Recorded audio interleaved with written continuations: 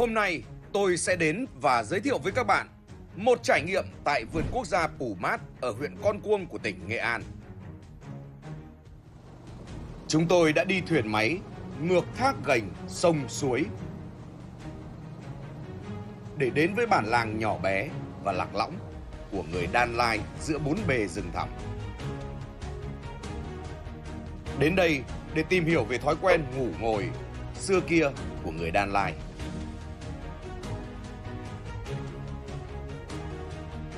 Nào, mời các bạn, chúng ta sẽ cùng lên đường.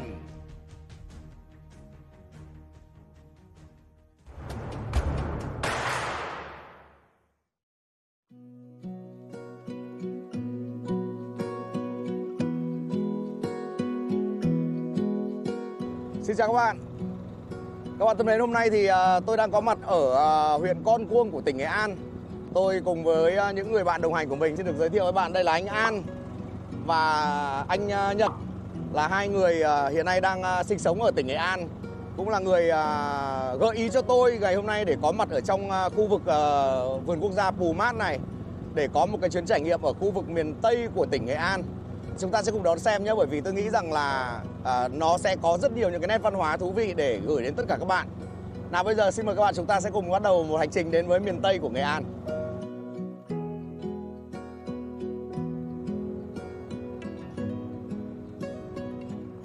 Mình sẽ đi xuồng máy như này trong vòng bao nhiêu lâu nhỉ anh nhỉ? Ta đi ờ, cỡ khoảng 2 tiếng, 3 tiếng gì đấy. Mấy tiếng đồng hồ cứ ngồi như thế này ở trên xuồng máy à? Không phải là cứ ngồi đến xuồng đâu. Sẽ có đến đoạn mà chúng ta có khi phải xuống xuồng để đẩy nó xuồng đi đấy. Ồ, tức là có những cái lúc mà ở cái mặt sông này nó sẽ cạn và chúng ta sẽ phải di chuyển bằng cách là vượt qua nó. Vâng. Sông này tên là sông gì vậy anh? Sông răng ạ. Sông Răng ạ. Vâng. Ở xung quanh đây thì à, có những à, người đồng bào dân tộc à, gì sinh sống ở anh An? Đây thì ờ, có người Thái, người Kinh và đặc biệt là có dân tộc Đan Lai. Có thể là trong cái chuyến của mình mà điều kiện ờ, sông nước cho phép thì bọn mình sẽ lên thăm dân tộc Đan Lai. Thời tiết đang trộm vía là có vẻ thuận lợi để cho chúng ta có thể có được những cái trải nghiệm. Chắc chắn là rất nhiều người chưa từng đến cái khu vực Tây Nghệ An này đâu. Bởi vì tôi vừa mới đến đây thôi là tôi đã nhìn thấy phong cảnh sơn thủy hữu tình đẹp vô cùng rồi. Nên là hy vọng là các bạn sẽ không rời mắt khỏi màn hình để theo dõi cả một chương trình này của chúng ta nhé.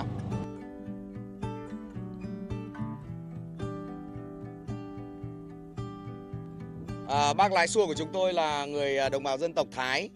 À, bác tên là Tuệ. À, bác quê có phải là ở ngoài Tây Bắc không? Ở đây luôn à? Bởi vì là người Thái thì thường thường là à, đi di cư từ uh, ở Tây Bắc vào trong cái khu vực miền Trung này. Đúng không ạ? Không biết có đúng không? Đúng ạ. Tức là gốc gác của bác là ở ngoài ờ, kiểu Sơn La, Lai Châu, Điện Biên đấy à? À thế ạ?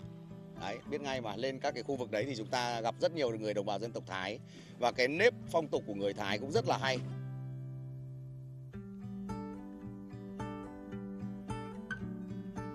Đang đi thì tự dưng bác ờ, Tuệ bác ấy dừng lại ở đây để xem xem đây là gì. Ồ, hay quá. Đây, đây là cái nếp nhà sàn của người đồng bào dân tộc Thái đây. À, thực ra thì um, à, người Thái thì làm nhà sàn cột khá là cao bởi vì là ở phía bên dưới ấy, thì à, còn à, nuôi chăn thả gia súc gia cầm. Nhưng mà cao này thì nó sẽ thoáng đãng và nó sẽ sạch sẽ hơn. Chứ nếu mà các bạn tưởng tượng là nhà sàn mà quây kín xung quanh vào xong rồi nuôi trâu bò lợn gà phía bên dưới đây người Thái người ta sẽ nuôi ở bên cạnh như thế này. Đấy, chính vì thế mà nó sẽ sạch sẽ hơn nó không bị ruồi muỗi làm ảnh hưởng đến sức khỏe và môi trường sinh hoạt của gia đình. Ở đây thì à, cũng à, giống như là chúng ta đi lên các cái vùng cao, vùng sâu, vùng xa thôi. Đấy.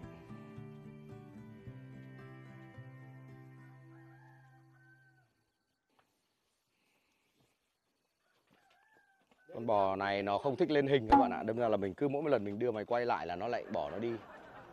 Ồ, mình à, phát hiện đây các bạn nhìn thấy có một cái ván dài như thế này này. Dài và cong này. À, có vẻ như đây là một cái cái đáy của một cái thuyền độc mộc. Bác ơi, bác bác Tuệ ơi, đây có phải là cái đáy của một cái thuyền độc mộc không? Đúng ạ. À, thế bây giờ mình còn à, duy trì cái thuyền độc mộc này ở trên cái dòng sông Răng này không? Có ạ. Ủa sao mình không đi cái đấy mà mình lại đi xuồng máy làm gì cho nó nhanh ra? đi làm gì cho nó nhanh ra? À, đúng thật là À lắp máy Vâng đây này thưa các bạn là đây chính là cái phần đáy của một cái xuồng đồng mộc Nhưng mà nó đã hỏng rồi nên là Họ đem về đây họ kê không biết là để làm gì đây Dài như thế này. Đây là cả một cái thân cây gỗ. À đây à, có một cái à, cái sừng. Cái này có phải sừng tê giác không hả bác? Ồ cái này là là là sừng trâu à? Hay sừng bò đây? Sừng trâu chứ nhỉ? À sừng trâu. À, cái này à, để làm cốc à? Hay làm gì đấy ạ? Đấy. À cái này để làm cái cốc này. Ui cầm cái cốc như này thì này à, là để người ta khoan hai cái lỗ đấy này Vâng. để đổ nước vào đây này đó là khi đổ nước vào đây thì lỗ này nó sẽ bắn nước ra. À tức là giống như một cái phễu. ờ cái phễu. Nhưng Và- mà mình cũng có thể làm cầm thành cốc cho em trông anh cầm này là trông cũng ờ, giống như cầm cái cốc ấy. cũng được với điều kiện là nhiều rượu vào. Đấy, mình xem một số các cái phim ví dụ như là cao bồi ở miền Tây chẳng hạn họ dùng các cái sừng như này để làm cốc uống rượu. Đấy, trông cũng rất là phong cách rất phong cách trong một cái bài à, chín bậc tình yêu là một cái bài hát ừ, rất là nổi tiếng của nhạc sĩ, thiếu tướng nhạc sĩ An Thuyên. Còn đây thì à, tôi đang đếm đến đây là chín chín bậc, không không đủ chín bậc đâu, đây chỉ có 1 2 3 4 5 6 7 tức là bảy bậc thang đi lên trên cái nhà sàn này. Có nghĩa rằng là ờ, cũng không cần phải quá chính xác, nhưng mà hình như nó phải là con số lẻ. Đây, các bạn xem này. Đây, chúng ta có 7 bậc bác ơi nhà sàn là có phải là cứ phải làm với 7 bậc thang ờ, số lẻ không bác? Có. Tại sao lại phải làm ờ, số lẻ bác? Không biết nhưng mà từ xưa đến giờ nó cứ làm lè làm lè thôi. À thế Ờ. ừ, sao mình không làm chẵn?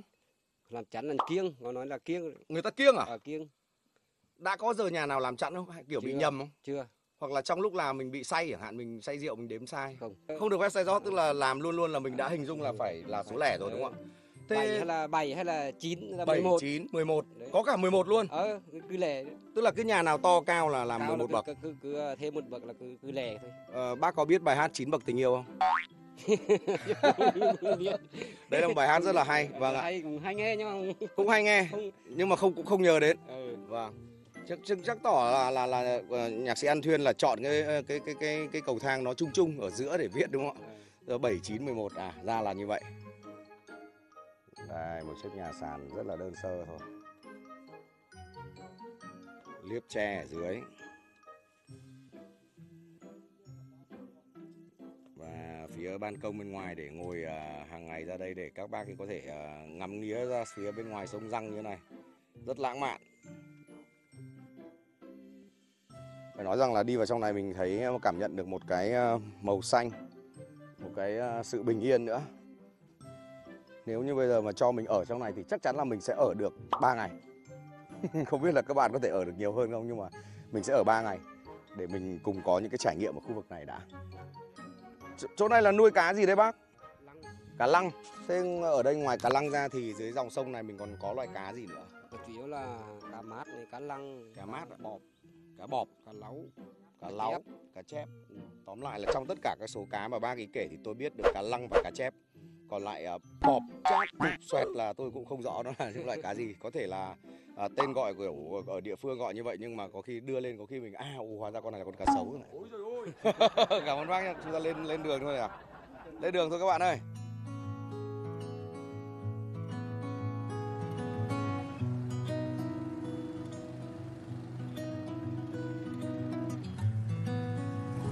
Đấy đây là cũng ờ, có khách du lịch đấy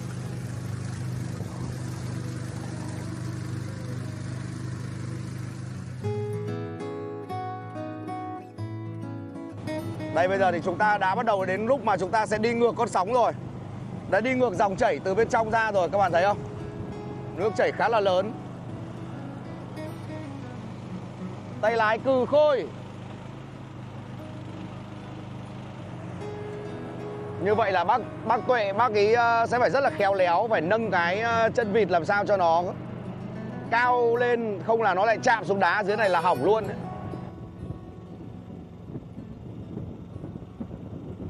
Qua mỗi lần nước này tôi thấy rất là sợ. Đấy chạm đáy chạm đáy. Đó. Cái cây này à, không biết nó tên là cây gì? Cây này là cây gì? Cây gì gì à? Tôi hỏi bác đây là cây gì? Bác bảo là cây này tên là cây gì? Và nó tên là cây gì gì, các bạn ạ? Cây gì gì? Tức là nó khác với cái cách đặt câu hỏi thôi, Mình chỉ cần nhân hai lên là nó ra cái tên của cái cây đấy là cây gì gì. Đây, giới thiệu các bạn đây là cây gì gì nhá. Và nếu như các bạn biết thêm một cái tên nào khác nữa Thì ờ, các bạn có thể ờ, chia sẻ với ờ, cá nhân mình Để cho mọi người cùng biết. Đây, cây gì gì?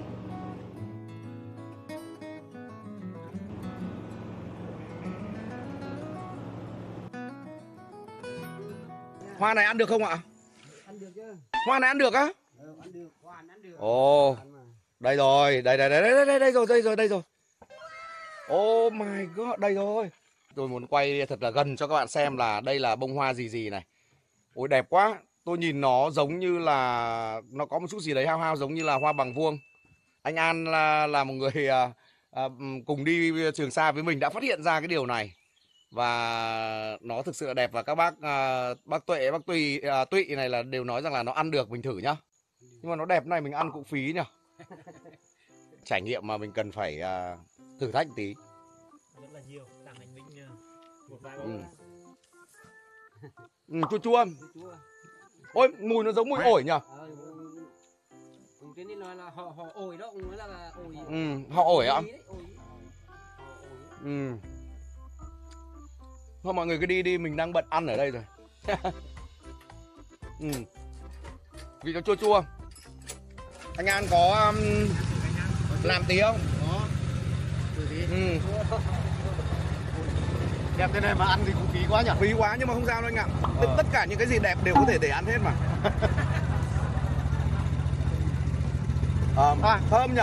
Thơm, vị như ổi nhỉ? Đúng rồi như ổi thơm. Lắm. Thơm quá. Chát chát, Ừ. ngon. Đấy á. Ờ, vì thấy đẹp thì không muốn ăn nhiều đâu. Nhưng vì nó ngon quá. Đấy, Tôi các bạn thấy không? À, trung quy tóm lại là cái gì đẹp cũng chỉ để ăn mà thôi. Chén luôn.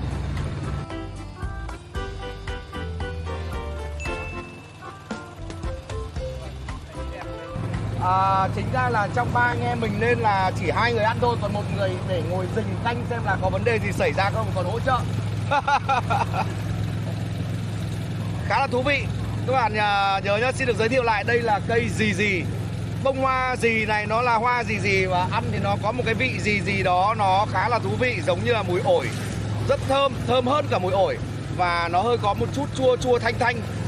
Nói chung là các bác à, ở đây thì nói rằng là cái này hoàn toàn có thể lấy cái trái của nó khi mà nó thành quả rồi thì để đem về nấu canh.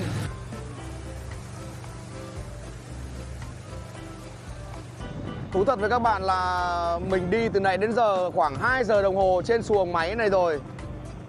Và mình thấy cái phong cảnh ở đây nó quá tuyệt vời Nó thanh bình, nó xanh, nó mát Nó quá phù hợp để làm du lịch.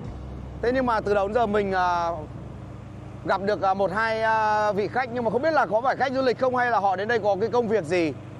Thật là đáng tiếc nếu như mà ở đây mà phát triển được du lịch thì quá tuyệt vời.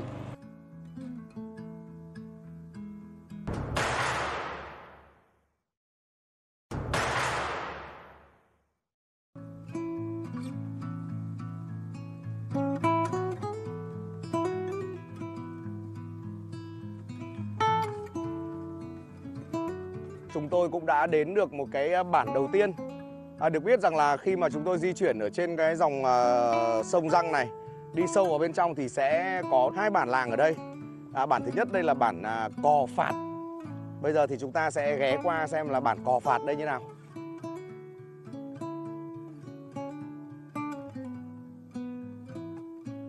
Đấy các bạn nhìn hình ảnh từ trên cao đẹp không? Đấy xanh mướt. Và ở dòng sông răng này nó ôm vòng quanh cái bản này nên chính vì thế mà đất đai ở đây nó rất là à, phì nhiêu trù phú rất là thuận lợi cho việc à, à, cấy cày trồng trọt.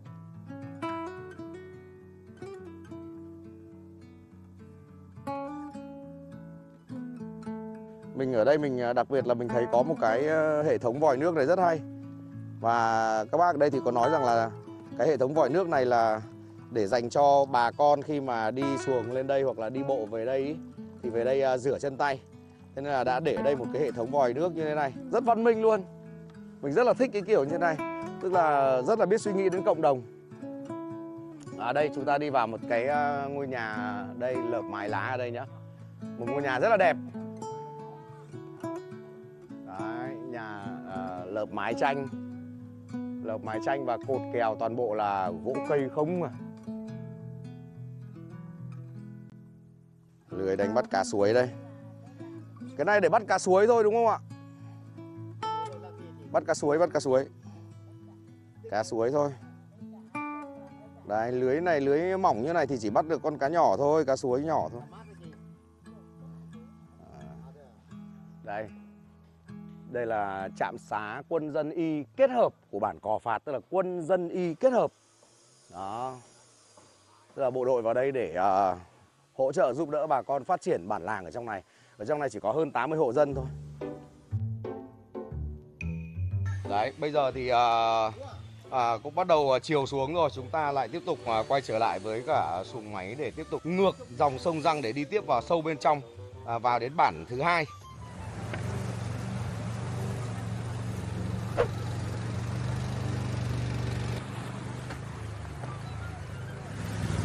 Quá cạn nước.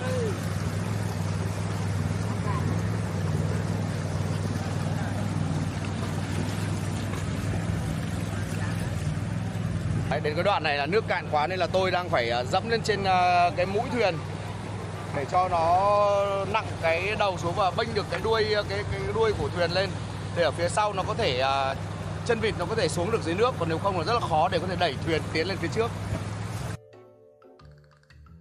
Cái gành ở phía trước này nó quá là nông và nước chảy rất là lớn nên chính vì thế mà chúng tôi sẽ quyết định là xuống đi bộ một chút để uh, xuồng có thể nhẹ hơn để có thể vượt qua. Nhưng mà cho đến bây giờ mình chưa thấy vượt qua.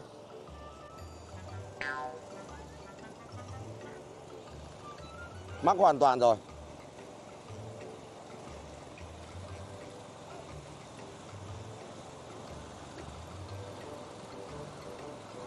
Không đơn giản chút nào.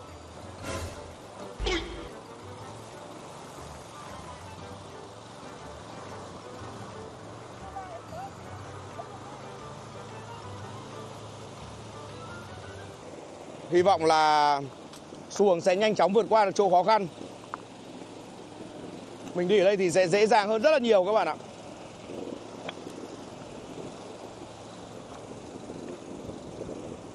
À qua được rồi. Các bác ấy qua được rồi. Yes Yes. Phải thế. Họ quả là những người lái đò chuyên nghiệp.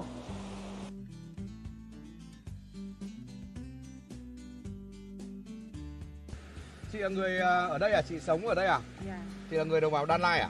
dạ, Ồ, chị có một cái đôi môi rất là đỏ Chị ăn trầu à? dạ. Chị sống ở đây lâu chưa? Lâu Lâu rồi à? Cuộc sống của chị ở đây như nào? Có thấy vất vả không? Rất vất vả, Vất vả hả? nghèo khó. Nghèo khó Thế ờ, ở trong này thì bây giờ mình đã làm phát triển du lịch được chưa? Chưa, Chưa à? Chị ở đây chị thấy cái vùng này có đẹp không? rất đẹp. Rất đẹp đúng không? Ở đây thì công nhận là đẹp thật nhưng mà chắc là một lúc nào đấy mình cũng phải nghĩ đến việc là mình ờ, thử làm một cái nơi nào cho du khách người ta đến đây để người ta có thể ở lại được. Homestay chị có biết homestay không? Không, Nhà trọ không? biết. Ờ đây nhà trọ Nhưng mà mình làm đẹp hơn nhà trọ một chút Để cho du khách người ta đến người ta có chỗ ăn, chỗ ở Người ta ngủ lại buổi đêm Thì người ta sẽ ăn, đúng không? Người ta phải đói chứ Người ta ăn thì người ta phải mua gà, mua cơm của mình, đúng không? Dạ. Và như thế thì à, mình mới phát triển được kinh tế chứ Đúng không? Có khách mới phát triển kinh tế. Đúng rồi, thế đâm ra là cái quan trọng là mình phải làm được một cái khu để cho người ta đến người ta ở Nhà chị rộng không? Cũng rộng đúng không? Đúng rồi, Ờ, thế có ở được khoảng 100 người trong nhà không? cũng khoảng được. À, đấy chưa Ba- nhà chị không đủ rộng đâu ở được 100 người thôi à, à, mình chia nhỏ ra làm thành nhiều phòng sau đó mình cho du khách người ta thuê các cái phòng nhỏ nhỏ đấy thế là người ta ở lại người ta ăn thì mình phục vụ cơm nước thế là như thế là mình có tiền được không? Đấy nghĩ đến việc đấy đi nhá để sang năm mọi người à, vào cái mùa hè tới đây mà du khách người ta đến đây là người ta có chỗ ở chỗ ăn xong người ta đi tham quan xung quanh ở đây thì mình đi mình hướng dẫn cho người ta là lên rừng thì uh, làm gì đi vào đây chụp ảnh ở chỗ nào đẹp thác chỗ nào đẹp tắm suối tắm sông ở đâu. Như thế là mình có tiền thì đời sống mình sẽ đỡ hơn nhá. Ok thế uh, chị tên là gì? Tên là Nam à? Chị uh, là nữ, à, tên chị là Nam, là người Đan Lai ở đây. À, xin được chúc chị à, sức khỏe nhá.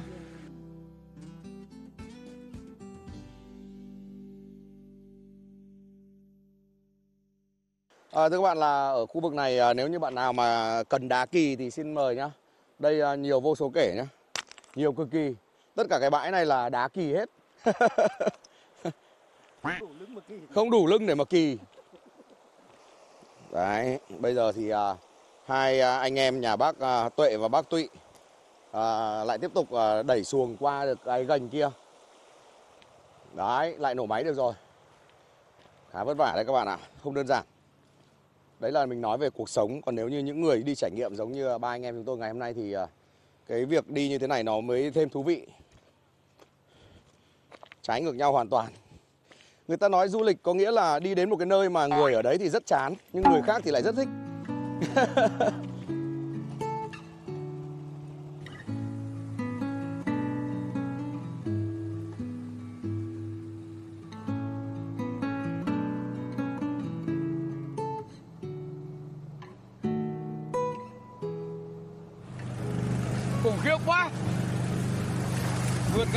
gian nan nhưng mà ngoạn mục.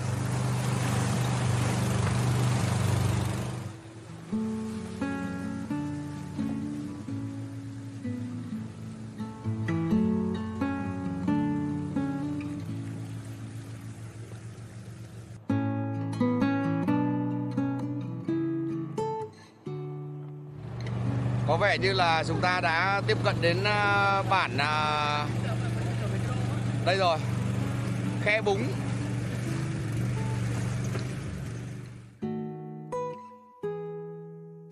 Như vậy là đã sau gần 3 giờ đồng hồ chạy xuồng máy vượt gành vượt thác một cách kỳ thú. Thế nhưng mà cũng đầy gian truân thì chúng tôi đã chuẩn bị vào đến bản làng rất là nhỏ nhắn của tộc người Đan Lai. Nói đến tộc người Đan Lai thì đây là một nhánh nhỏ của người đồng bào dân tộc Thổ.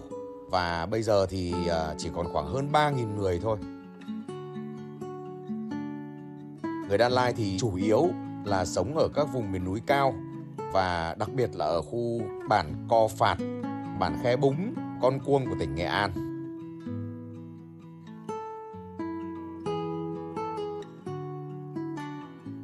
Như vậy là chúng tôi đã cập bến và từ đây thì chúng tôi sẽ đi bộ vào trong à, đây là bản à, Khe Búng thuộc xã Môn Sơn, huyện Con Cuông của tỉnh Nghệ An.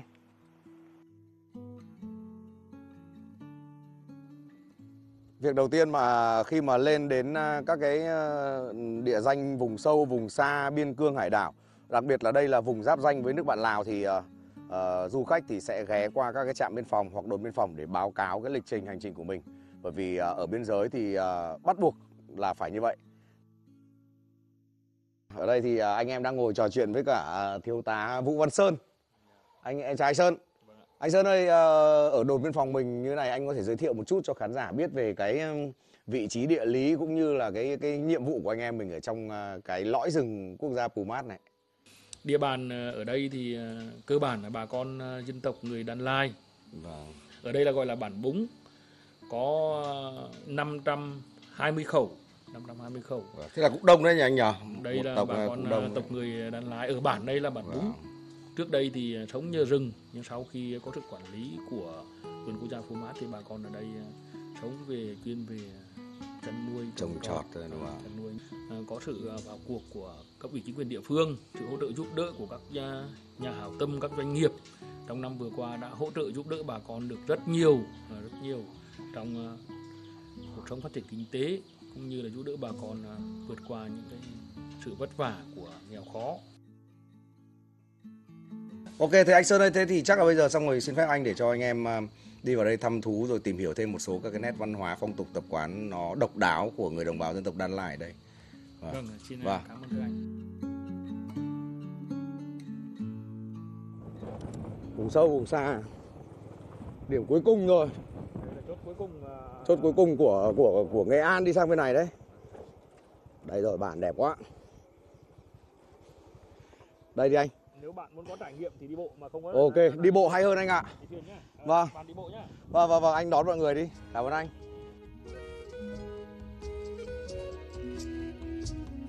Nghe nói đây là một tộc người thiểu số còn có rất nhiều những cái thói quen sinh hoạt khá là kỳ lạ. Và một trong số những cái thói quen đó chính là họ ngủ ngồi.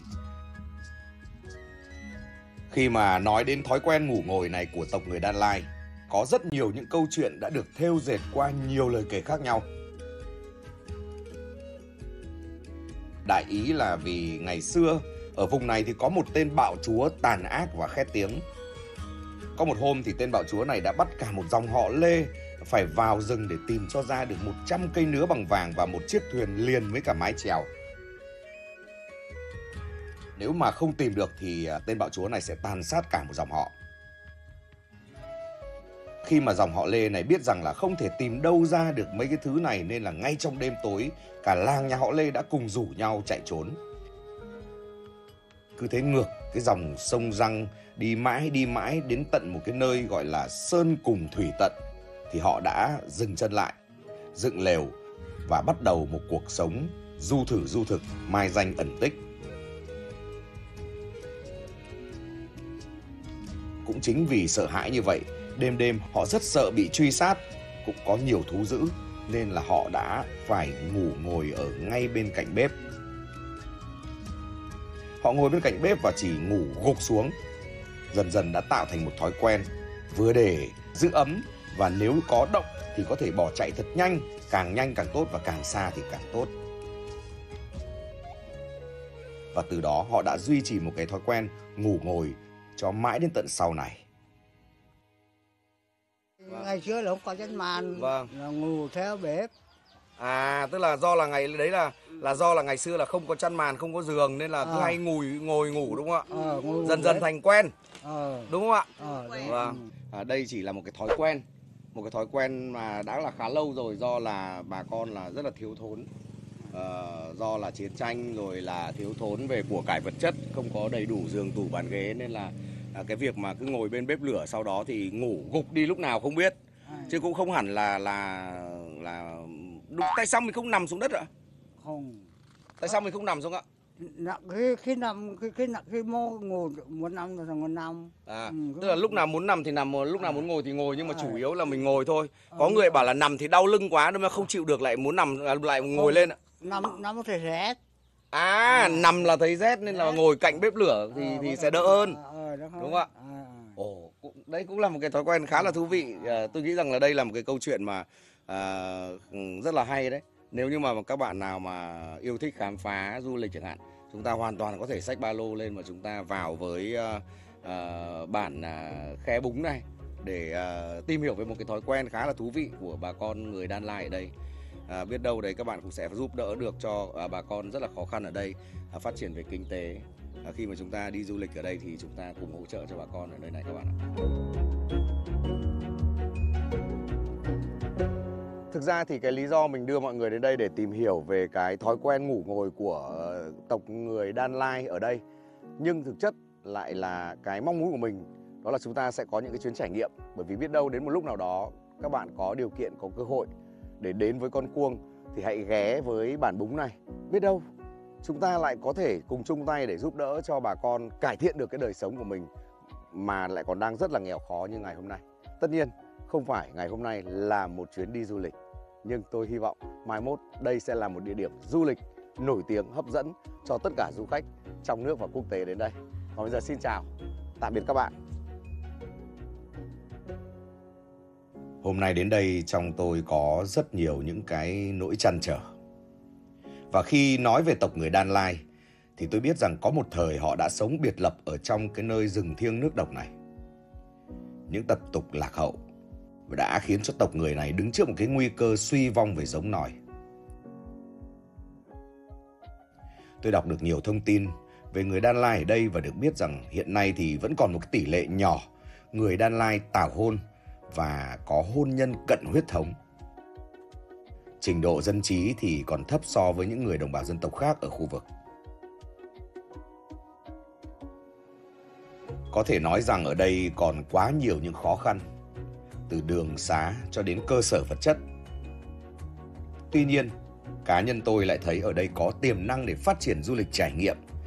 Bởi à, bản sắc văn hóa của người đồng bào đây là vô cùng phong phú, đa dạng. Những cái dân tộc ít người ở đây, họ có rất nhiều cái điều kiện để có thể gìn giữ, phát triển chính cái nét văn hóa của dân tộc mình để tạo điều kiện cho phát triển du lịch trải nghiệm. Tôi ước mong mai mốt quay trở lại đây với bản làng của bà con Đan Lai thì sẽ chủ phú hơn, phát triển hơn.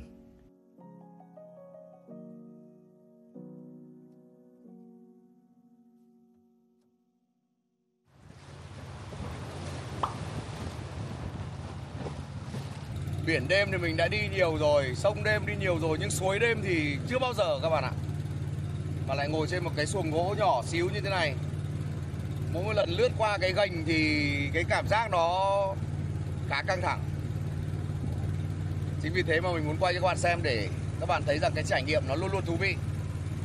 Đây là một trong những hành trình mạo hiểm cực kỳ chứ không phải không đâu. Ui,